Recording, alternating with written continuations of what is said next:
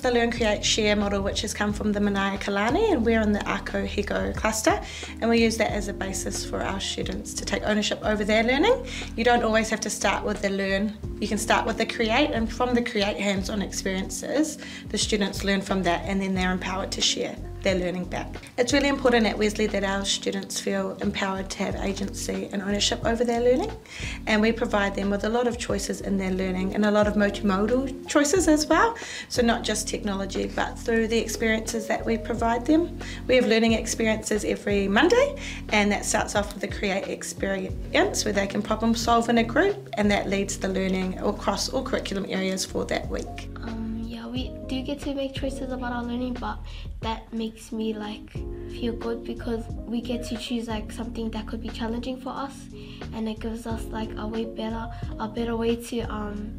become more smart and learn more. To start each of our terms, we ask the students what they would like to learn about and what they're passionate about so that we can co-construct our learning and we always review it at the end of the term as well. Collecting student voice is really important to us. Culturally sustaining practice is key for us here. We do a lot of hands-on learning and a lot of student choice, a lot of following their passions and what they're interested in and we're currently doing our DMIC maths, developing mathematical inquiries communities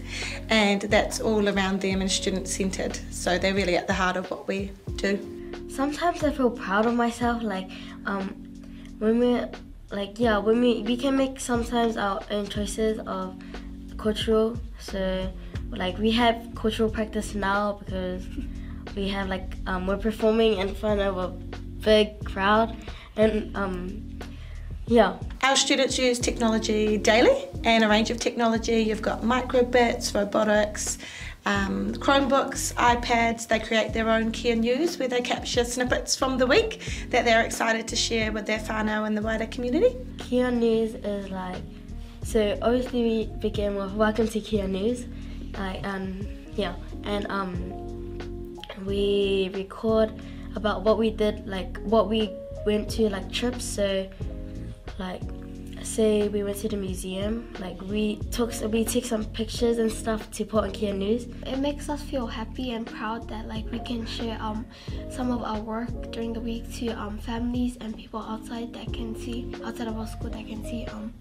what we have been doing during the week. We also have got a new build coming and at the moment the students have been really involved in that process of designing their own furniture that they'd like to take to the new build. So one kid on Tinkercad designed a table with a little Lego drop down box in the middle of the table and we've actually gone to the furniture distributors and we've bought it so he's really excited about that. So yeah just giving them real life opportunities and problem solving through the use of technology to enhance that um, has been really powerful for our students. So we have a workshop wall where we have a collaborative environment with four teachers currently and 100 students and we have the focuses up on the workshop wall with the teachers that will be leading it and the students put their photo to choose which workshop they'd like to be in based on what they feel that they need to continue to work on and grow with and that's been really empowering for them um, and really mana enhancing for them to have that choice over their learning and which teacher they're with and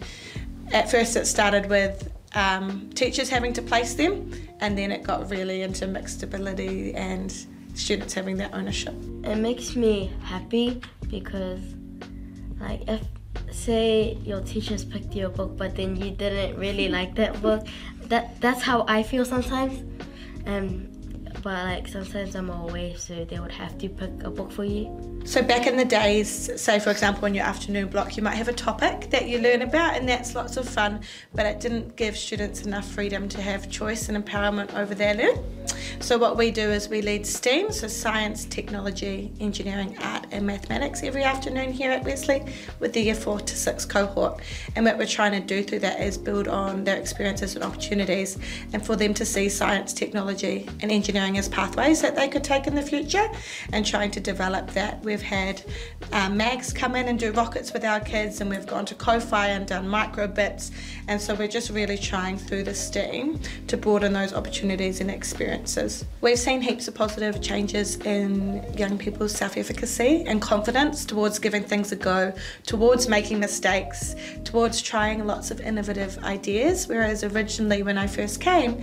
you might have the traditional way of teaching and you have your tumble when you're reading tumble, your maths tumble, but now it's really developed and it's really student led and the students are leading their own learning. They're able to tell you their learning goals and their next steps, which is really um, empowering for us as teachers to see them taking that ownership.